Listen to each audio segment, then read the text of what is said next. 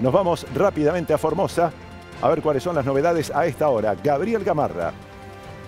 A más de dos horas de haber finalizado el acto eleccionario en la provincia de Formosa, recordemos que hoy se eligió gobernador, vicegobernador, legisladores, intendentes y también concejales. Hay que decir que más del 70% se presentó a votar este domingo caluroso aquí en la ciudad de Formosa. Estamos en el búnker del Frente de la Victoria, donde lo encabeza Gildo Infran, donde está en búsqueda de su octavo mandato. Recordemos que dos periodos fue vicegobernador de la provincia y desde 1995 es el actual gobernador. Aquí no hubo paso. Aquí hay ley de lemas. En consecuencia, cuando los formoseños se presentaron en el cuarto oscuro en el momento de decidir, tenían que hacerlo frente a 68 boletas. Los primeros cómputos se van a saber recién a partir de las 21.30. Ustedes saben que hasta las 24 del día de ayer había tiempo y bueno, y son, son cosas que ocurren. ¿Cree que es la mejor fórmula esta?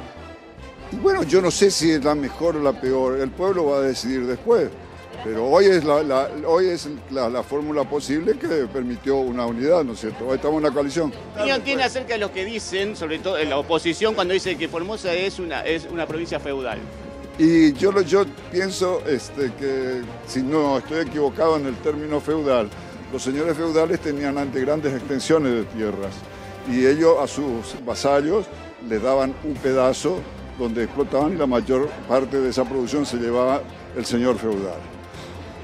Bueno, hace poco vi yo una estadística en donde eh, de todo el país y donde, cuáles eran los lugares en donde las personas eran propietarios de su, de su casa. Qué casualidad, Formosa está en el quinto o sexto lugar. ¿Sabe cuál es la última? La capital federal. Entonces, ¿qué quiere decir? Que capital federal es un feudo donde el inquilino son los vasallos.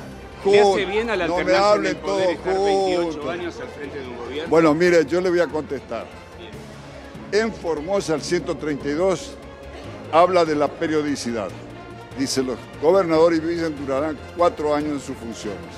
Coma, podrán ser reelectos.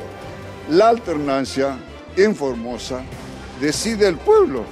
Hoy el pueblo está decidiendo a ver si quién, quién va a ser su próximo, próximo gobernante.